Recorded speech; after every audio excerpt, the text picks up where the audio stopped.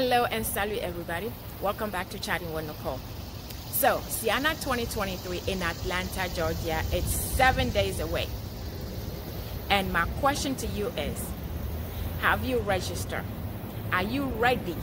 Hey, are you prepared for CEANA 2023? If for whatever your reason you said, Nicole, I am still not doing it, I am still thinking about it, I'm just not sure because I know how we are. We put things off until it's too late, and we're like, I wish I was there.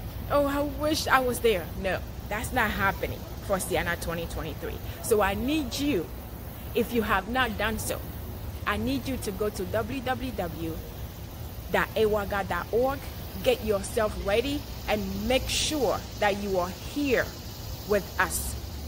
Because besides from all the memorable fun activities, and everything Atlanta, Georgia has to offer, we are going to start the event with old school for the early birds who are going to get here on Thursday.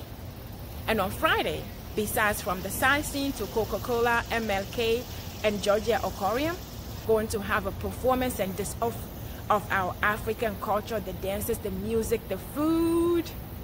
And on top of that, we are going to give you, are you ready for it? The live play that we have been promising you on Friday night at 8 o'clock to be exact.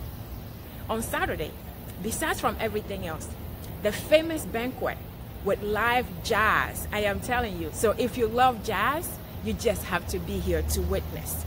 You see why I'm telling you, you just can't miss it, right?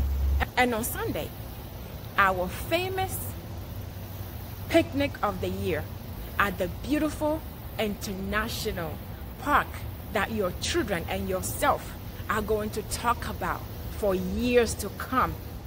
So I am telling you, Labor Day weekend in Atlanta, Georgia, CEANA 2023, it is a place that you have to be. So I need you, go to www.ewaga.org, make sure that you are here with us so rendezvous in seven days in Atlanta, Georgia for CEANA 2023. Don't miss it.